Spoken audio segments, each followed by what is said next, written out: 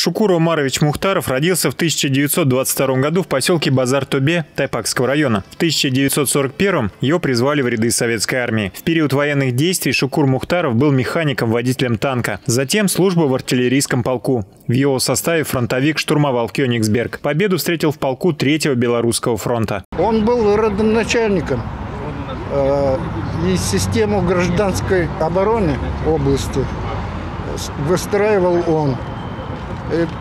Поэтому его вклад несоизмерим. Вся моя жизнь связана с армией. Так что я даже без армии себя и не мыслил.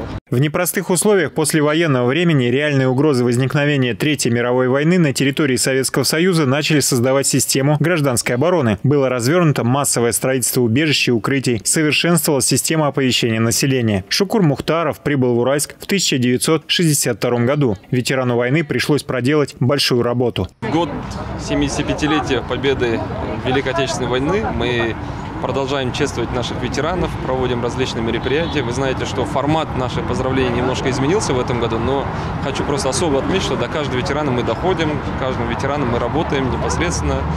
То уважение, которое мы должны как потомки для них показать и дать, я думаю, мы это должны обеспечить полностью. И вот сегодня одним из таких значимых мероприятий является открытие мемориальной доски первому руководителю штаба гражданской обороны по Западно-Казахстанской области Шукурову, а, Шукуру Умаровичу Мухтарову. Департамент по чрезвычайным ситуациям продолжает богатые традиции органов гражданской обороны. И его сотрудники всегда стоят на защите населения региона от любых невзгод. Роман Копняев, Айбула Джигипар, Александр Грабарев, ТДК-42.